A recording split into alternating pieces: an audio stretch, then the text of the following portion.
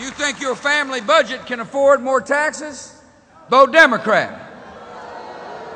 If you believe you pay more than enough in taxes as it is, and if you believe that you can spend your money better than the federal government can, vote Republican.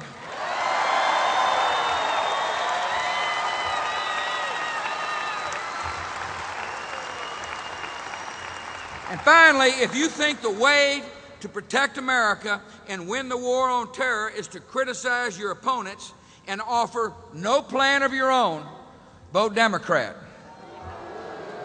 But if you believe that the way to win the war on terror is to stay on the offense, and if you believe it is necessary to lay the foundation of peace for generations to come, you vote Republican.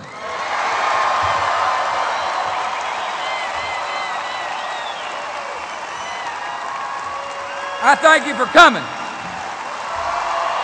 Go vote. Get your neighbors and friends to vote. And send Jim Ryun back to the United States Congress. God bless. And God bless America.